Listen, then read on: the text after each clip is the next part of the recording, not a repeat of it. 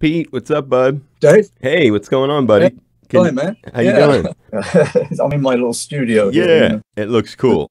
It is member supported. Hawaii Public Radio and All Things Considered our off the road interview series and getting into year two now after two years of doing these and people back on the road in a lot of cases and hearing about a lot of wonderful projects.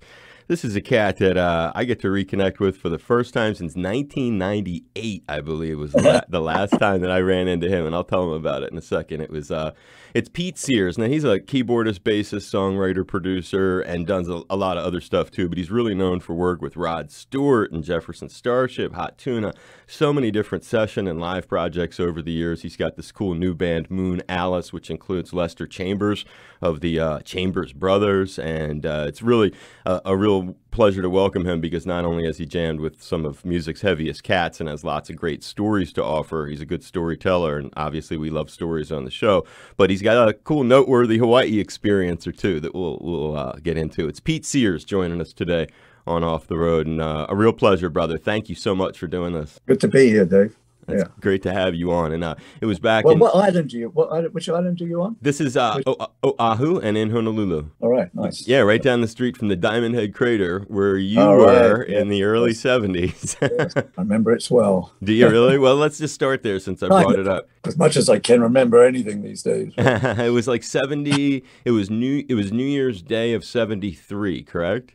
That's right. Going into yeah, that's right. Going into 73. Yep, yep. And, and you were uh, there with Neal Schon and Greg Errico or Rico? Yeah, it was, a short-lived band, you know. We had uh, Neal Schon. It was all instrumental. We couldn't find a singer, you know. So, um, so we liked, you know. So um, uh, it was it was Neal Schon on guitar. It's just you know way before Journey, right? Yeah. Neal Schon on guitar and Greg Errico from Sly Stone on drums, and I played bass. And Herbie Herbert, who ended up managing uh, Journey, was the uh, road manager and uh, manager, and it was called Sears Schon Errico. And um, we did a, we played the Diamond Head Crater Festival, and uh, and um, uh, yeah, it was it was it was an amazing, amazing uh, experience. You know, looking out there, seeing see those all those people out there you know what wonderful. do you remember of it other than just the sea of people are there any specific memories any funny stories anything that happened that day any other bands on the bill or, or a famous oh, oh concert? oh yeah i mean i mean copperhead were on the i just you know i just left copperhead to go play with nicky hopkins in a, in a band he was getting together which didn't materialize but uh, um, anyway, uh, Hutch Hutchinson was playing bass, a good friend of mine. Oh yeah he he came in. Uh, you know, he's he's he lives on the islands. You know, and yeah, he's been on and, the show before. I know Hutch. All right. Yeah, yeah well, he, he, he was playing bass with Copperhead with John Cipollina. Yep. And, uh, so I went over. I just popped over there to their stage to uh, when when when it was their time to play and and just hung out with those guys and um, uh, yeah, I mean it was just a crazy rock and roll period. You know, just walking around in the ocean and on the beaches and just uh, you know young rock and roll musician you know i mean what's it's, it was an amazing experience the whole thing. Were there other I mean, bands I, on the bill? Uh yeah but i can't remember i can't remember no were. worries. Yeah no worries. They had a lot of bands i'm sure there was i don't know who the headliner was. I, I can't remember. Was that a bill graham show? Uh no I, I, don't think it was a bill show. Uh, um and i didn't see don't remember seeing Bill there, but okay. uh, yeah, he did a uh, few a few uh, Crater shows. Tom Moffat was our local promoter. The late, no, you know, maybe maybe he was involved. I don't, you know, that's not one of my memories. Sure, no, it's cool. well, that's it, it, was it was a wonderful uh, experience, and uh, just looking out, at, uh, just being in Hawaii, you know, looking at the crater and then the ocean in the distance, and it's just a wonderful place to have a concert. I don't know what happened. I guess they don't do it anymore. Is that correct? They don't do them like they used to. They did. They did one in 06. They did one in 07. They've never done one since, and they had stopped doing them at some point, probably in the 70s yeah. or, or maybe 80s. And you only had done the one. Is that correct? Uh, yes, we, we, that's right. Okay. With that, I mean, I used to. I mean, yeah. Uh, I should mention that Greg Rolie. Uh, uh, came and sang Black Magic Woman, and uh, you know he did a, a, bit as a guest. You know, wow! At your show, Greg Rolie from Santana, yeah, singer right. and keyboardist. Yeah, yeah right. and uh, so that was nice. There's a recording, bootleg recording, knocking around. But, yeah, so that's the only time I did the Crater Festival. But um, when I was with Jefferson Starship, a, a, a bit later, hmm in the 70s, uh, in the mid 70s on, 74 onwards. Um, you know, we used to play Honolulu. And I, I don't remember the name of the place. It was a big place. You know, Blaisdell Arena, Neal Blaisdell Center, NBC Arena, Yeah, something like okay. that, probably. Yeah.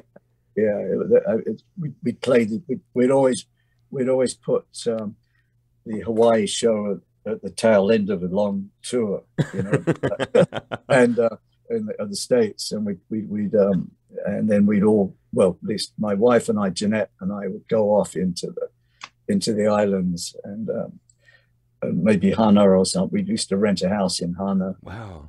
and uh, that was special, you know. And uh, so yeah, and, and we we we uh, used to you know go to the Seven Sacred Pools, and, and it was it was it wasn't a state park yet. I don't think it was. You know, there was no no car park or uh, rules or anything. You just kind of used your common sense. And, Wow. you know, but we'd hike up the up the falls, and you know, it's just it was swimming in the rock pools and incredible memories. You know, meeting some wonderful people. We got to know some uh, local people that that um, told Jeanette and I about where all the really out of the way places were. You know, it was really nice. So, uh, you made a connection over there, it sounds like, on Maui. oh yeah, oh yeah. My, you know, it's it's really the whole of all the Hawaiian Islands have a special place uh, in our for Jeanette and I in our hearts. Any other experiences like that that stick out? That's very visual and will sound great on the radio. People will appreciate and Yeah. and respect that. Are there any others? You, you mentioned the other islands. Is something on Kauai or a big island or Yeah, this island? that-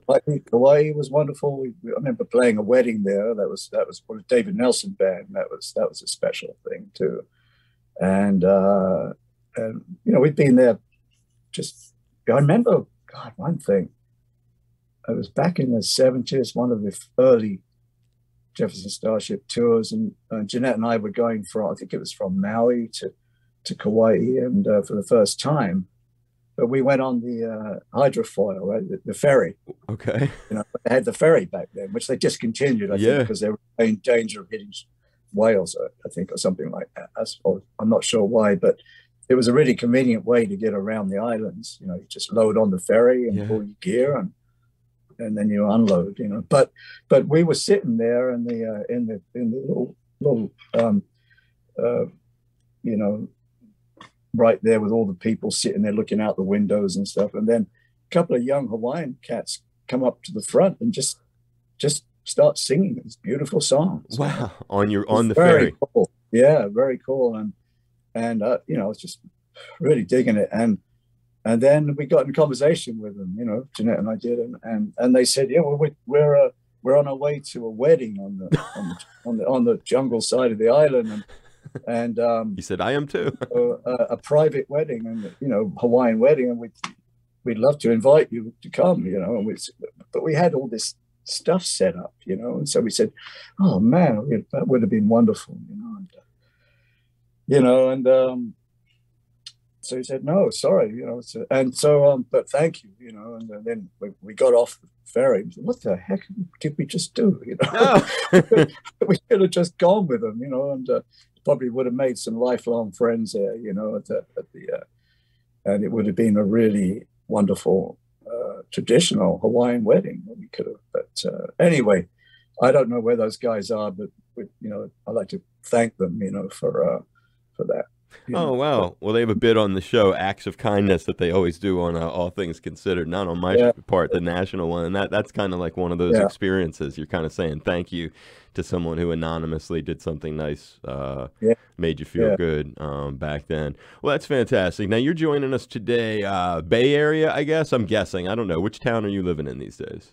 San Rafael, Yep. which is uh, north of, of San Francisco. That makes sense. bridge. That's what I would associate you with. So it was back in '98. I was in Boston at uh, WZLX, and I booked you guys with Tuna to come into the Oh, radio station. And it was like you all played the midday show. We had the whole band, all the equipment in there, and Yeah. uh, Michael and you and and uh, Jorma and Jack, and it was really fun. Uh, and Yeah. it, it was back in the days when you guys were like, I think, opening for the Allmans and stuff too. And and now you're you're doing this exciting uh, new release. You've got this current band, Moon Alice, which is probably a new name. Think about that as I as I give you a chance to talk about. It. It's a very new name, I'm sure, to almost everybody who's listening, who's driving in their cars, and and it includes Lester Chambers. Now that's someone they'll know from the Chambers Brothers. Time has come today, legendary yeah. song. And so for all those folks, this is completely new to Pete. Explain the musical psychedelic soul kind of sound that you're after, and how this group uh, of interesting cats yeah. came together.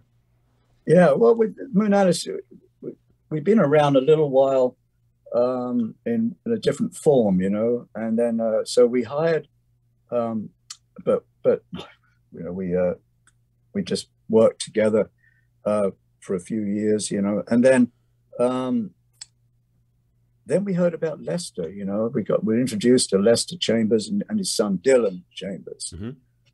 and and they came and sat in with us, you know, and it just went so well everything just clicked. And, um, you know, and, and uh, then, and we also had the T sisters got involved with us, three sisters who were amazing people and yeah. amazing singers, all individually in their own right, but their harmonies just like smoking. And um, so all of a sudden we had this amazing front line, you know.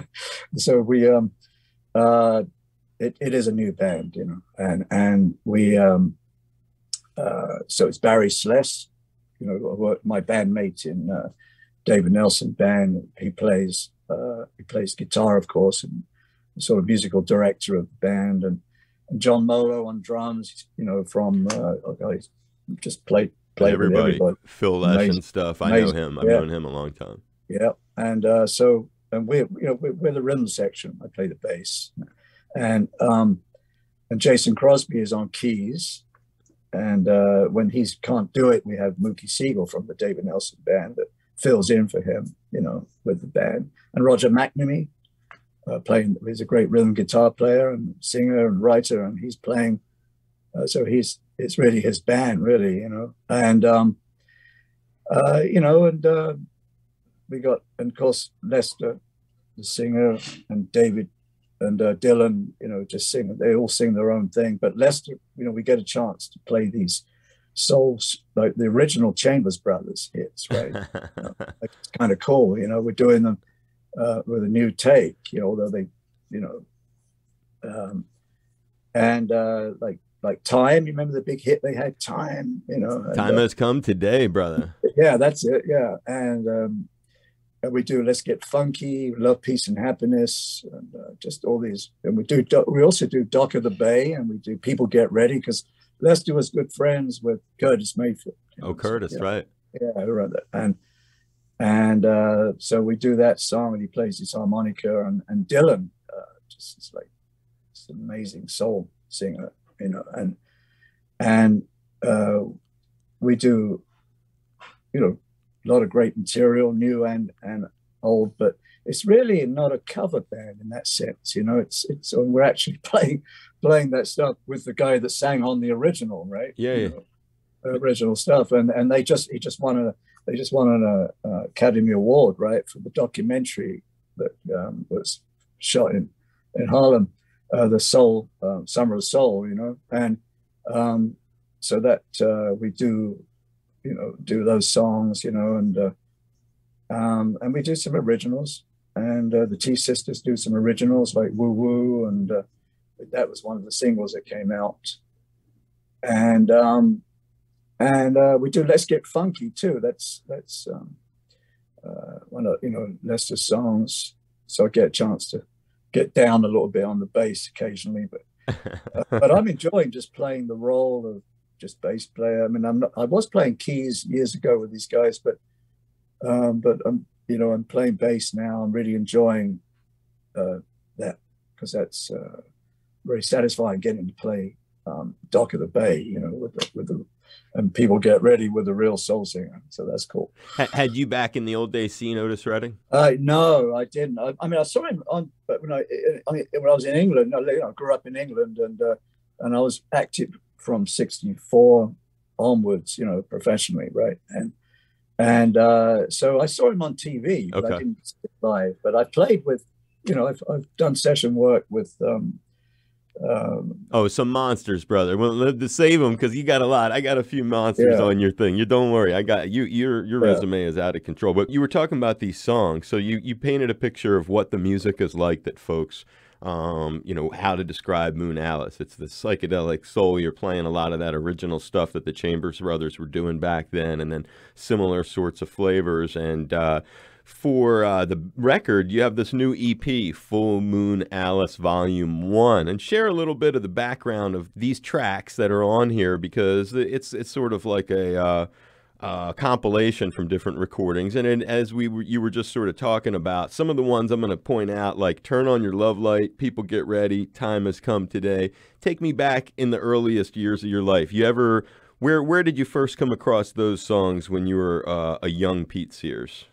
Uh, well, uh, people get ready. I mean, I, I played with a band back in '66 called Fleur de Lis, and uh, I I remember Jimmy. uh, That's when I met Jimi Hendrix for the first time.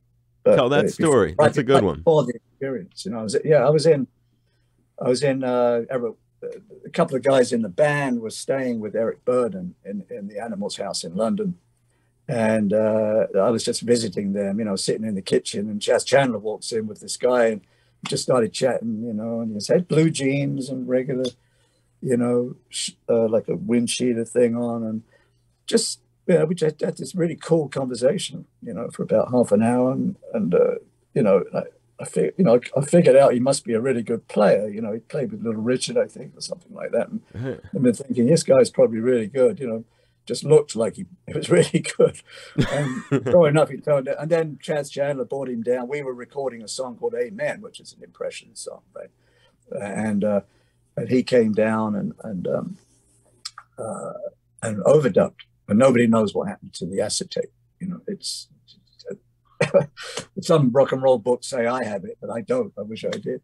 And uh, anyway, so then then Fleur de Lis, um, you know, we we did people get ready and things back then, and the singer was really good, Phil Sawyer. And he, when Stevie Winwood left Spencer Davis, uh, Phil left us to go play with him, Oh, play with him, and and he he, he did a song, one one song called um, "Don't Want You No More." I think he sang that one, and and uh, but then Phil sort of left the music business. He something happened, and I'm not sure what, but anyway, he disappeared. But he had great talent, you know, as a guitar player and singer. And then we get then we had a, anyway. That's it. So I was introduced to those songs, like uh, you know, uh, the, the people get ready, and what about "Turn on Your Love Light"? How about the Yeah. great, that's a Grateful Love- Dead yeah, I- connection? I just heard that like everybody else, just was aware of it, you know. And I didn't uh, ever, I never played that one before, but and um, time, time, you know, time has come today. You know, that was uh, with the Chambers Brothers, big hit. You know, I just heard it on the radio. You know, I, I never played it, right? and never saw them back then. No, no. I mean, I was deeply immersed in my own scene. You know, yeah, uh, you were huge. what happened back then. It was, there was no internet, nothing. You just kind of went where things took you, you know. And I wandered from scene to scene, and um, but uh, but I, I remember thinking, this is cool, you know, I like this. And um, so now we're playing it, and pretty pretty much the same way. We uh, it fits well with us because with Barry Sless and John Molo and everybody, we we we, we, we really love to improvise. You know, Yeah. psychedelic improvisational thing. With me, it's drawing on my 1967 um, psychedelic period with uh, the Sam Gopal Dream, which is a Indo sort of jazz rock uh, outfit trio in um, in England, in London, playing these long psychedelic, uh, just improvisational Indian ragas with uh, with um, uh, the, uh, in, with Sam Sam, who was a tabla player, and I draw. We used to draw on that, you know, and um, so time has come today. Has a it breaks down into a psychedelic in the section in the middle, and Yeah, so I'm sort of I'm drawing on that unconsciously, you know, drawing on those crazy young, insane periods in London in my, you know, early career, and um, and just you know just playing impro- improvising with Barry on uh, uh, and uh, when he's because he's really good at that, you know, it really is, and uh, and um, yeah, we go off into this this ether, and, and then we can, we draw back to the regular song. You know? So eh, and it's just wonderful chants, and we try to incorporate that into uh, songs if possible, the jamming bit. Yeah, well, you talk about that jamming. It's pretty interesting when I was reading some of your history. Um, and that note of long improvisational, thinking about all that you were just saying and talking about that 60s period of your life and in Great Britain, it's also I read, and you'll correct that this if if it's wrong. Um, but I read that when Brent Mydland passed away, keyboardist with the Grateful Dead from '79 to '90, that you had been invited to audition to replace him. And if that's true, tell that story. And then perhaps start by going back to your first time, because I know you've gotten to actually work with people like Jerry Garcia, and take us into how your world first came in contact with the Grateful Dead. Oh, okay. well, um, you know, I was I was aware of them, you know, in the '60s, and I was in London and everything, but uh, I didn't have a record player because I was sleeping on people's floors and moving around from scene to scene and band, you know, playing. Uh, but the uh, uh, so it was 1970, and I was with a band called Stoneground, uh, the very first Stoneground. I I I come to America in 1969 for the first time. Um, made my way over there, and um, first band was with Leigh Stephens from Blue Cheer. We had a band called Silver Metre with Mickey Waller on drums. Did an album. Then, then I then I ended up playing with Stoneground and in 1970, and we were staying, we were renting a house in Mill Valley at the time. Uh, we recorded already back uh, an album back in England. Um, so we were staying in Mill Valley, and somebody introduced me to John Cipollina. And so I went down to John's house in King Street for John Cipollina from Quicksilver. Legendary guitarist. Bad dude. Yeah. Yep. Yeah. And uh, and we just uh, we really hit it off. John and I did. You know, we really hit it off. I ended up living with him. You know, we went to his living in his uh, in his uh, gun room, antique gun room, which is politically incorrect right now, but but he had it was it was a, a, room full of these old Wild West things, right? You know, but nothing else, just those things. But anyway, um, so we uh, I was also a good friends with Richard Gossett from KSAN FM radio. Ah and we I used to hang out with him, and he said, "Why don't you bring some guys down and we'll do try doing an impromptu sort of broadcast from the record library here." And so I, so I got John and I. So I talked to John. He got he called Jerry and Bobby, and we came wow. down. We all got together. Mario Cipollina was John's younger brother, who ended up with Huey Lewis years later. You know, um, so he he came down on bass, and I and I played the piano, and we did this and with Bobby, Bobby sang Silver Threads and Golden Needles and all this stuff, and Jerry was on pedal steel guitar, no drums. We just and John Cipollina on guitar, Mario on bass, and I play. I'm playing the old upright piano in the corner. And you're all in a studio, in a radio yeah, studio all, together. All, all, but not a real. It was like we we set some mics up in the radio in the record library where all the yeah all the albums are like you know it yep. wasn't a it was a really it was just before KSAN started doing it professionally. Sure. Whether they was doing it from the record plant or the Pacific High Recorders. This was literally an impromptu, just lots of dead air space and Jerry quipping and sure. making jokes all on live on air. You know, you could do that back then on the radio. And it, there's a bootleg knocking around somewhere. If you put it in, it comes up. You know. What are some of the songs that you guys played? I mean, you know, Silver Threads and Golden Needles and and um, uh, what else did what else did we do? I can't remember. It's all sure. I have it written okay. somewhere cassette, but um, yeah, it was it was it was it was fun anyway. So Jerry, we all hit it off, you know, and uh, and then I was on. Uh, I went off to back to England to play with uh, on Rod Stewart on Every Picture Tells a Story, playing piano on that one, and um, Maggie May, all those great tunes. Long John Baldry blues band after that album, I came back to the States for his first US tour. Long John Baldry Blues Band played bass. And, um,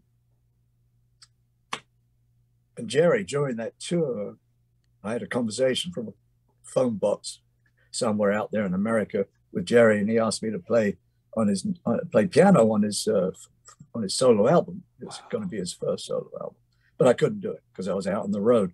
And it's all about timing in this business. Sure. Right. Any business, I suppose. Right. Yeah. Just, you know, I, I'd love to have played with him, but anyway, to cut a long, really long, boring story short, I um ended up. Uh, I, I was uh, I'd left Starship. I was in miserable frame of mind. I was happy to, to have left Starship at that point because I wasn't really getting along uh, in the, that final version, which became Starship. They dropped About 87 or so. Paul Kantner had left, and, and David Freiberg had left, you know, and and and uh, but it was, you know, we did. I just did that one album, knee deep in the hoopla, and with them, and and uh, so it wasn't really working out. And but uh, great album. But uh, for that, if you like that sort of thing, which I didn't much, but anyway, uh, but the um, uh, but it's very unlike the original, completely unrecognizable totally. from totally. the, the Jefferson Starship that I was in.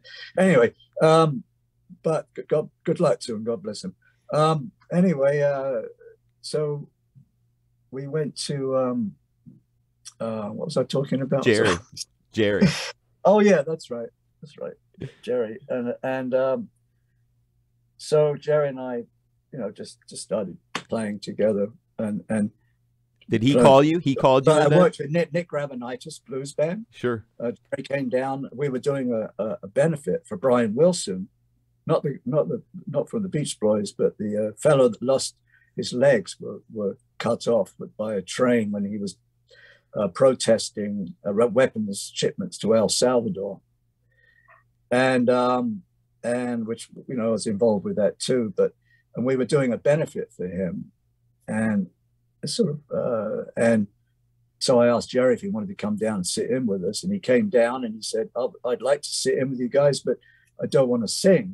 I just want to just want to play." You know, so the blues, you know. So we Nick Gravenites, of course, is a great singer. So so we just we just it's there's some video of that knocking around. You know, we just um, played uh, uh, all the Nick's blues songs, and and Jerry would just sit back. They just stood back there having a fantastic time, just playing blues solos.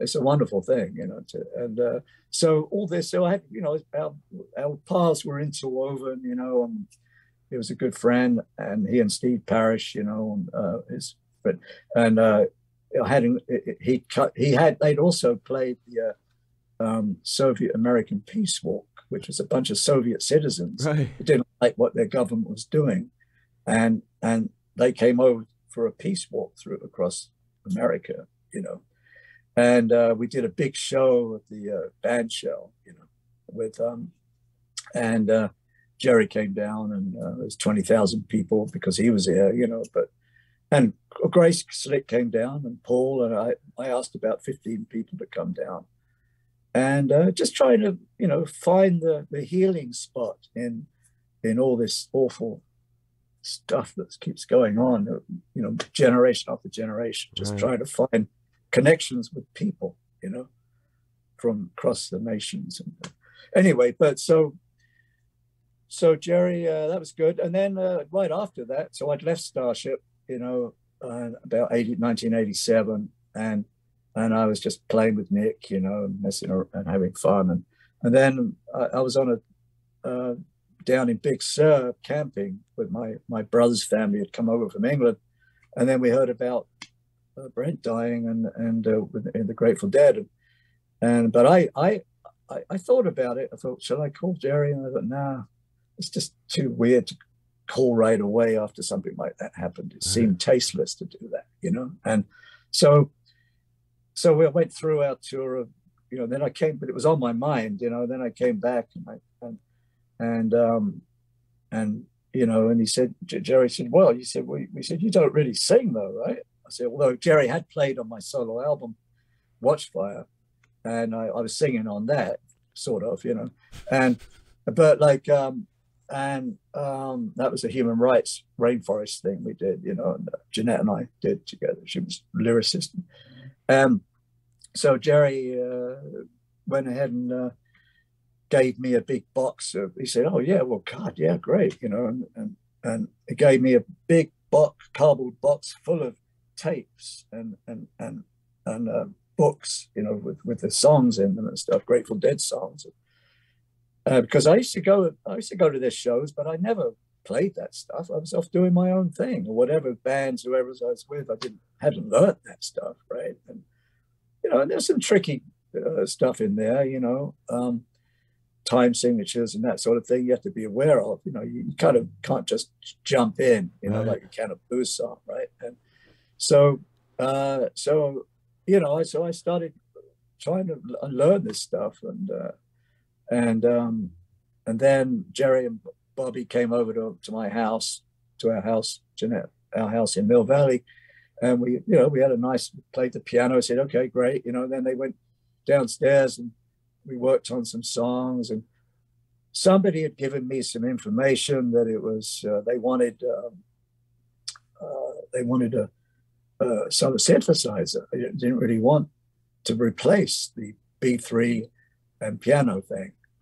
And my head was completely the opposite direction. Right after leaving Starship, which had become this sort of sequencer thing, you know, with it, I, I, I wanted to go back to piano and B3, right? So, so I kind of psyched myself out. Anyway, I, uh, I, I ended up going to people at the office were saying, oh, "You got the gig, you got the gig." All the road crew were telling me, "You got the gig, man. It's great. Yeah, it's got to, you know." And I said, "I don't know. I just don't get that feeling. Yeah, I don't know, man. I don't know."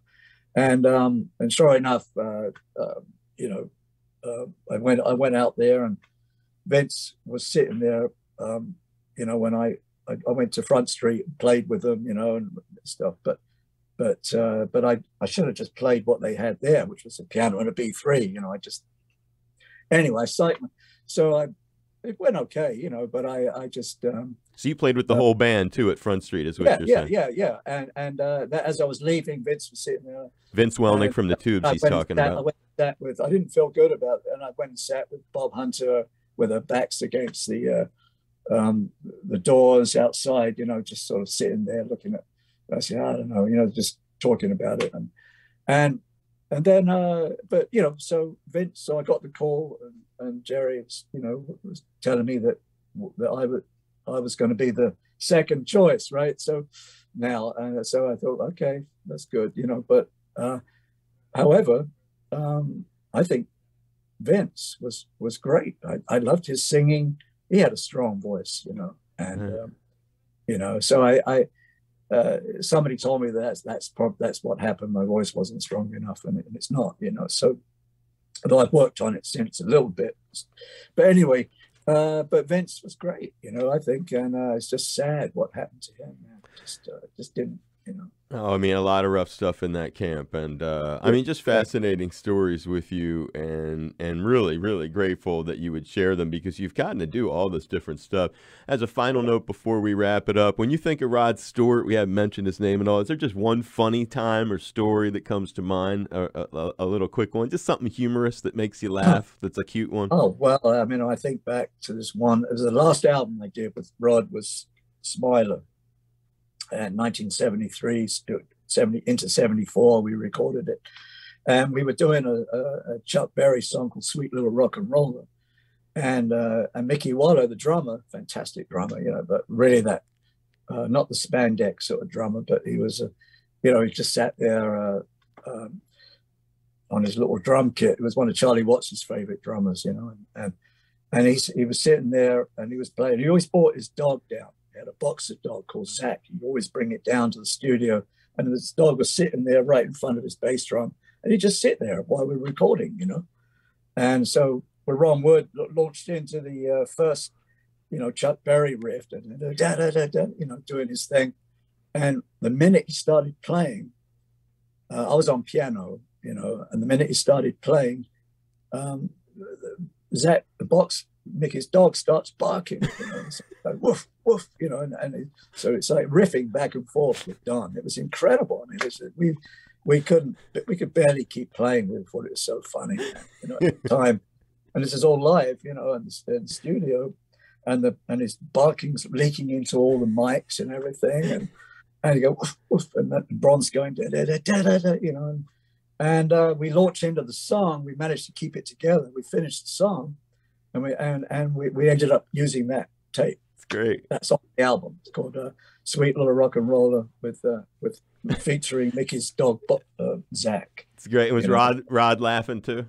Oh, everybody. Everybody, you guys just have. Everybody thought it was very, very funny, and it was, you know, and it was a really impromptu thing, and, and of course Rod ended up using it on the on the on the track on the on the album, you know. I mean, Rod was a good producer that way, man. He just went for the it went for whatever was right we'll use that one to, to go out with, and that'll be a fun one. And uh, rocking song. Yeah, it's a great one, and a great one to t- to wrap up uh, an interview with the great Pete Sears, a huge guest on the show, and Moon Alice. They have their new uh, EP. It's a collection of tunes we've been talking about. Full Moon Alice Volume One, folks can look for, and we'll keep our fingers crossed we can see you guys out here in the Honolulu area. And thanks also for the great stories about playing here in the islands, and uh, and we appreciate um, it. Maybe if you want to just hit a little something on your keyboard to say goodbye to us, if there's a oh, well, a favorite sure, little jam.